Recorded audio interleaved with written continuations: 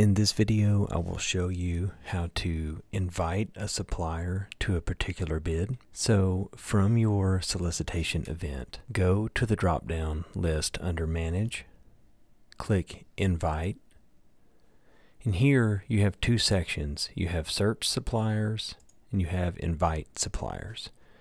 If you want to search to see whether a supplier has already registered, you can search using their email or the supplier name. If you want to invite suppliers, you can enter information about individual suppliers here. The email, supplier name, first and last name of the representative. And then if you wanted to complete this information here, you could, but only the email is required. Please note that sending an invitation through this system will not guarantee that the recipients will receive the email.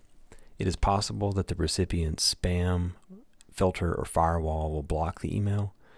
So, to ensure that a supplier has received the bid, it might be a good idea to email the supplier from your regular UT email address and give the supplier a heads up to be looking for the email invitation through ESM.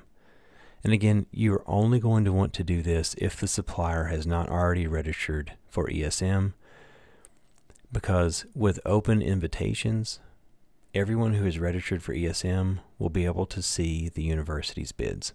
I hope that you found this video helpful. Thank you for watching.